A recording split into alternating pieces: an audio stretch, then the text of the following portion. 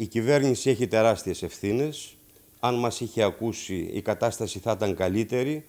Θα πρέπει αυτή τη στιγμή αμέσως να απεγκλωβιστούν οι πρόσφυγες από εκεί, να πάρθουν όλα τα υγειονομικά μέτρα και τα απαραίτητα πρωτόκολλα για προσωρινή μετακίνησή τους στην υπηρετική χώρα και από εκεί η χορήγηση των απαραίτητων εγγράφων για να πάνε στις χώρες προορισμούς τους. Θα πρέπει να κλείσει οριστικά η μόρια και να μην φτιαχτεί άλλο κιτ είτε κλειστού είτε ανοιχτού ε, τύπου και στη Λέσβο και στα υπόλοιπα νησιά του Αιγαίου.